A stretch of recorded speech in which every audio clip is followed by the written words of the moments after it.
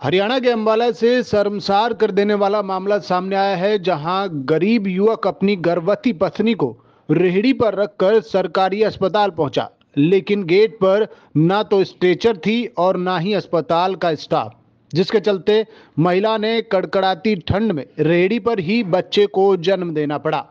इस घटना के बाद अस्पताल में अफरा तफरी मच गई और जच्चा और बच्चे को वार्ड में ले जाया गया। इस मामले की जानकारी अस्पताल की सीनियर अधिकारियों सहित हरियाणा के स्वास्थ्य मंत्री को भी दी गई।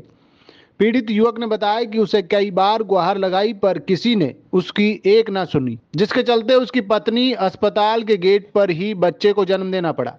हरियाणा के स्वास्थ्य मंत्री अनिल विज ने कहा कि मामले को गंभीरता से लिया जा रहा है और इसकी जाँच करवाई जाएगी। लापरवाही बरतने वाले स्टाफ और डॉक्टर के खिलाफ सख्त कार्रवाई की जाएगी। वहीं नागरिक अस्पताल की principal medical officer Sangeeta Singla ने बताया कि उन्हें आज ही इस मामले में स्टाफ की लापरवाही की शिकायत मिली है, जिस पर उन्होंने एक जाँच कमेटी गठित की है। जाँच रिपोर्ट आने पर इसमें दोषी जो भी पाया जाएगा उसके खिलाफ सख्त कार्रवाई की जाएगी। लड़के की बहू को लेके आया था हॉस्पिटल में। तो फिर मैं दो तीन बार गया भी जी एक दो बार वो कर उस पर लिटा के ले आओ तो बच्चा नीचे ही गया जी रेड़ी पे ही फिर दोबारा गया फिर ऊपर मिला के फिर रेड़ा अंदर लेके गए जी लामिया राम है जी कहाँ से आए दफ्तर से जी अरे देखिए तथ्यों की जाँच करानी पड़ेगी कि इसके लिए डिलीवरी के लिए हम मुफ़्त एंबुलेंस देते हैं अब वो बताया गया था नहीं बताया गया था सारा उसकी मैं जाँच कराऊँगा और अगर किसी के खिलाफ कोई कमी पाई गई तो उसके खिलाफ कार्रवाई भी करूँगा।